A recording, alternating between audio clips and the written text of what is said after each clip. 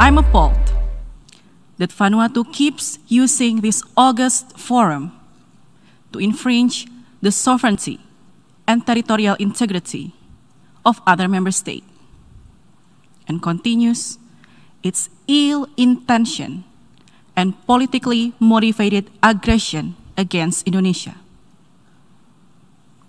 We strongly reject false, baseless allegation and misrepresentation that continues to be nurtured by Vanuatu.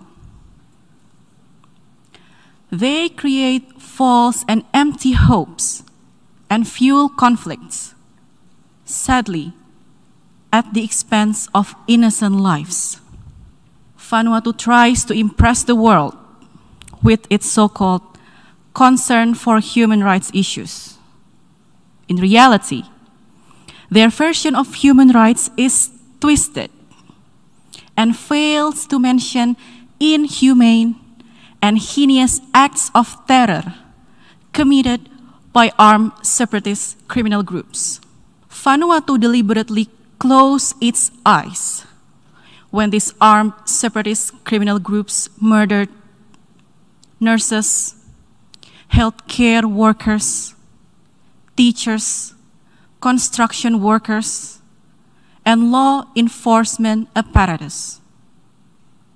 These are the peoples who actually dedicate their lives for the Papuans.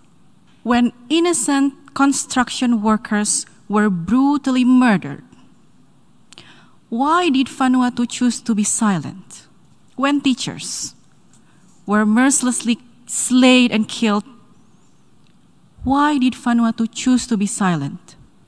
When public facilities built for the people of Papua were destroyed, why did Vanuatu, once again, choose to remain silent? In fact, Vanuatu is advocating separatism under the guise of artificial human rights concern. Is this their understanding of human rights?